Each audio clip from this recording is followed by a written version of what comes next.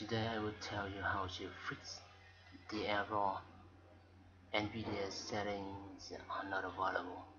You are not currently using a display attached to a NVIDIA GPU. This error usually occurs when you update Windows 8 or Windows 7 and uh, the computer cannot recognize the graphics card.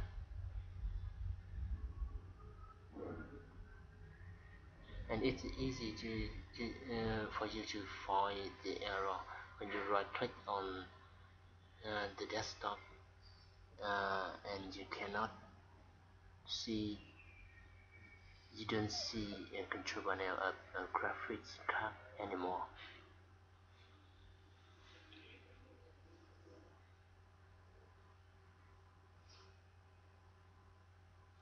and when you try to open control panel of NVIDIA you will get this note NVIDIA settings are not available.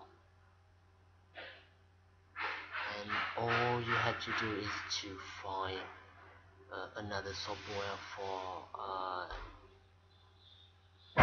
for the graphics card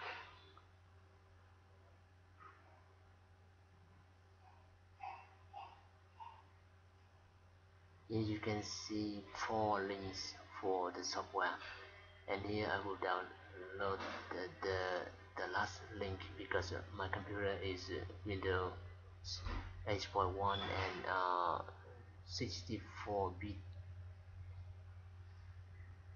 And I, I will download this link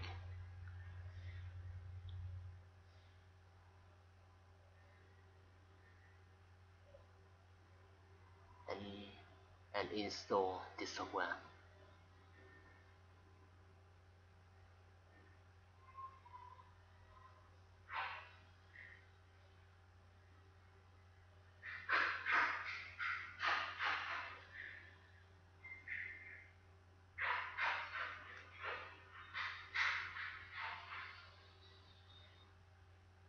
okay finish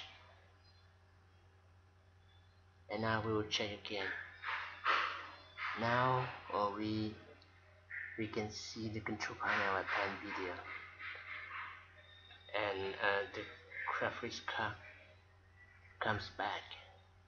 Thank you for watching